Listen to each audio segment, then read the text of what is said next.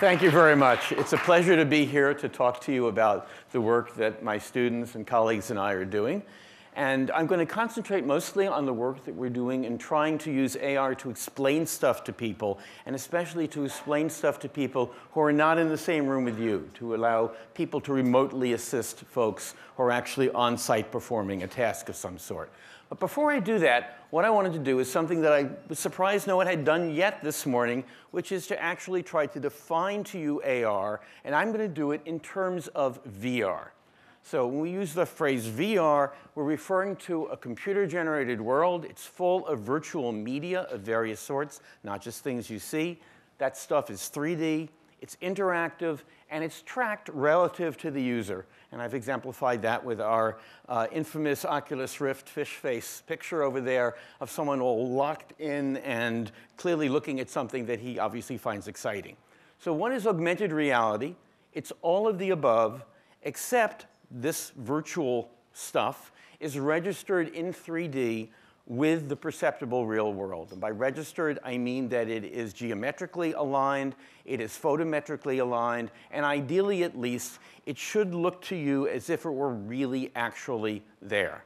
Now, one thing that I've done in my last sentence, but I tried not to do in the definitions, is I went from being completely, totally uh, uh, atheistic in terms of the modality, the media, to being kind of visually chauvinistic. I use the term look, okay? But although most of what I'm going to talk about, most of what folks here are going to talk about are things that are visual, AR in general doesn't refer just to things you see. It's also things you can hear, things you can feel, smell, taste, etc. Okay? But again, as I said, I'm going to talk mostly about things that are visual. So in my lab, we have for a while been working on user interfaces for augmented reality. Um, we've looked at a variety of domains, navigation. You're seeing on the left over here a big bulky backpack system that we used starting in the mid 90s to be able to overlay graphics on top of the view that you had of the world around you. In games and entertainment, like this uh, virtual marble game where we're tracking a handheld patterned uh, piece of board to create a virtual marble maze. Or one thing that I said I was going to concentrate on, which is task assistance, assisting people in performing skilled tasks. So what do I mean by that? In particular, I'm interested in nowadays in remote task assistance. And so there is a standard kind of trope, uh, uh, uh, really a meme, if anything, um, in the industrial world in which in many, many different kinds of domains, you have this notion of a local person performing a task and then a remote person whom you'd like to have help that local person. That remote person known as a SME in industry, short for subject matter expert, um, is someone who typically is going to be older, wiser, they might not want to travel, and they're going to be trying to help as much as possible this often younger, less skilled, boots on the ground person who's actually performing a task. And so in the work that we're doing, um, we see basically uh, two main goals that we're trying to assist our remote SME in performing. One of them is helping the tech, we'll call uh, the person who's actually performing the task a tech or technician for short. Um, we want to get them in the right place, at the right position, looking in the right direction to be able to go and do the things that they need to do, see the things they need to see. That's the where. And the second is the how, which is we need to go and get that tech to actually perform the task correctly. So I'm going to show you a little bit of some of the stuff that my lab has been doing in trying to address these problems using augmented reality. The first thing I'm going to mention is the getting in place. And what you're seeing here is a still from a video I'm going to show you shortly, in which you're seeing a uh, small desktop-sized, scaled-down um, model of an aircraft engine, the full version of which we actually have in the corner of our lab. And the hand of the expert is being used to point out these little iconic representations of a view that we would like to have our technician uh, acquire. And that means we want to get our technician to go to a particular place in the environment relative to the full-scale engine. And when our expert selects one of these little iconic representations of a view, What the technician is going to see, and this is a view through one eye of a augmented reality display. You're seeing at the left part of that full-size uh, aircraft engine. And then on the right, you're seeing a kind of splayed picture frame window. And in this work, we put up a virtual window in the environment, virtual picture frame, and the idea is you're going to look through it. So let's see what that looks like. And so here we see our expert, third-party view. Now we're going to see a view through the eyes of the expert. In this case, this is a augmented reality view. You can see some of the real world. You can see this little virtual representation uh, being spun around on a Lazy Susan of the engine model. And now he's going to select one of those viewpoints. And here we see our technician wearing a video see-through AR display, look through the window. And the reason he knew to do that is he's seeing in the environment this splayed picture frame that he's going to go and stick his head through. And then when he looks through it, which is where our expert wants him to be, he'll see the expert's hand with a long kind of Pinocchio nose pointer coming off the end, pointing at something of interest. So this is work we did a couple of years ago. And in the process of doing it, we began to realize that if I tell you to look through this window, people take different responses to it. Some folks will just walk right up to it and stick their head into it. Other folks have been to lots of art museums, and if they got that close to a painting, the guard's going to scream at them. So they sort of like step back a bit, and they have this very sort of healthy distance from the window.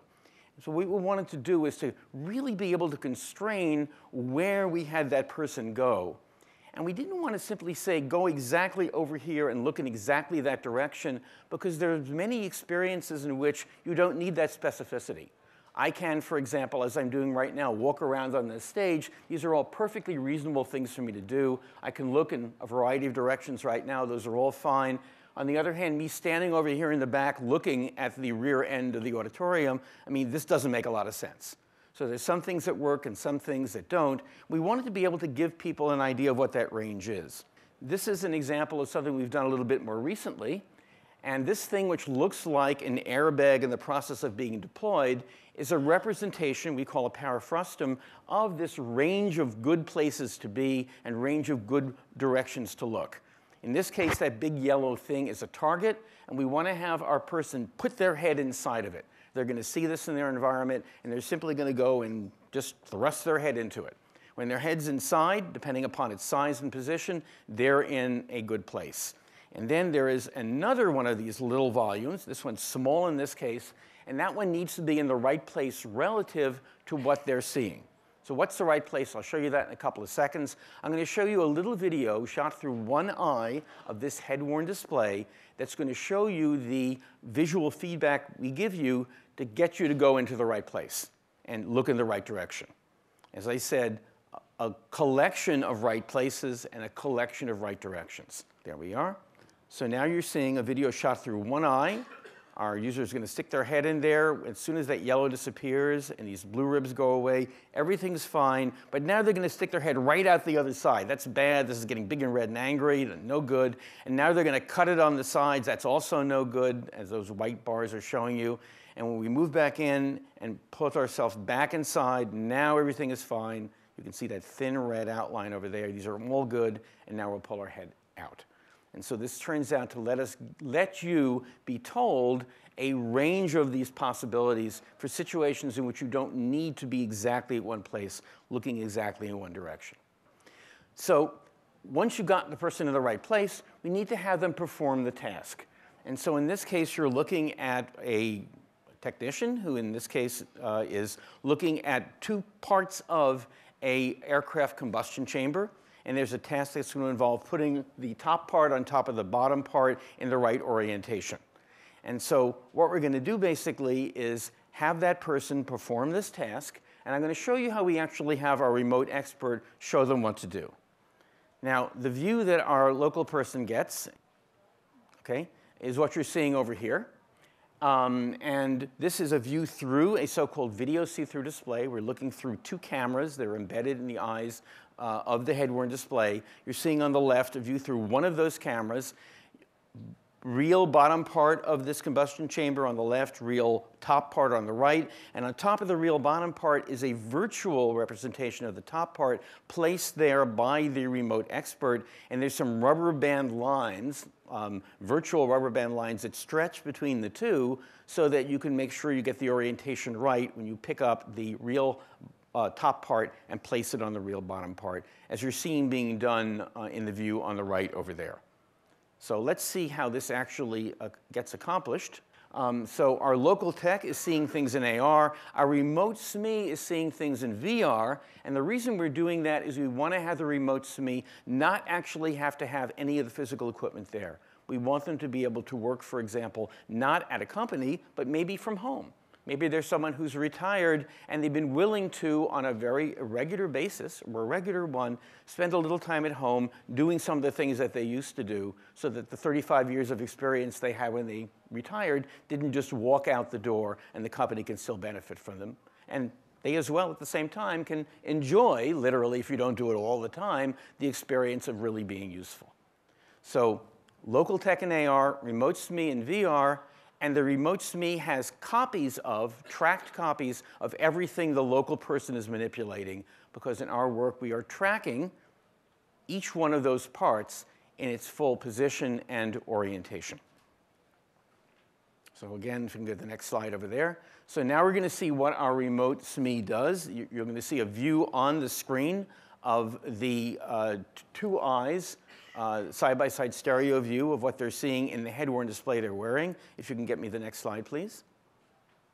And so now what they're going to do is they're going to pick up that top to put it on the bottom. And you notice when they picked it up, they picked up a clone of it. Because if they actually tried moving virtually the real thing, then it would be uh, off kilter with. It would not be consistent and synchronized with what the technician was doing. So when they pick something up to move it to manipulate it, they're going to pick up a copy and do that with the copy. And now we see our local technician's view. And what's going to happen when I start the video is you're going to see that that uh, virtual version on top of the uh, real uh, bottom part of the combustion chamber is going to jiggle a little bit because the remote expert is still in the process of placing it, positioning and orienting it as the technician can begin to actually do their task. And so because it is virtual, they can really be working in the same space at the same time, something that in fact would really be hard to do if they were physically co-located and working with a real part. So if I can have the uh, next slide, please. So you're seeing that left part still jiggling, moving around a little bit as our SME is uh, positioning it and orienting it. And now our local technician is putting their physical part in place over there. So one final thing I'm going to mention, if I can get the next slide, wow, that actually worked, um, is in my lab we build things like this. We design um, the different kinds of visualizations we're showing you, and then we run studies to see how well they work. And in this case, you're going to see another representation. This is a condition in which the SME is sketching annotations on a tablet. This is much more like what people are starting to do in industry right now. And this is our baseline with which we could compare this notion of really having that SME be able to physically manipulate things in, in 3D. And so if I can have the next slide. So here we're sketching. And because the system knows about where things are in 3D, that's the SME's view as they're sketching on the tablet. But now you'll see what the text sees, a representation of the SME's head as they're rotating, and all those little annotations have been sent into 3D, so they're actually on the virtual parts. Now to make a very long story short, we did a user study. I'm not going to go into the details of the slide, but we studied a variety of different ways of using AR to be able to go and communicate information. And it turned out that, that the technique I showed you, where the SME was manipulating things, was significantly faster for them to do than that sketching technique that I just showed you. So, last thing I want to mention is work we're doing on what comes next.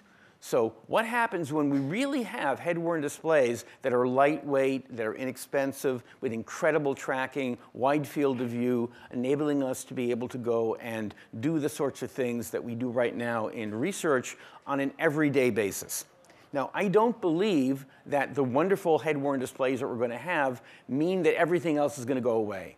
The same technologies that make them wonderful are and similar technologies are going to make it possible for us to have, as we used to get to see in cartoons when we were little kids, wallpaper and paint that literally will cover every surface imaginable with things that will be interactive. So I'll have carpets that will be displays, walls that will be displays, ceilings that will be displays. All walls and ceilings and carpets may well be displays. Okay? When we have stuff like that, not necessarily the case that you simply going to get rid of them. They're going to happen and they're going to be really useful.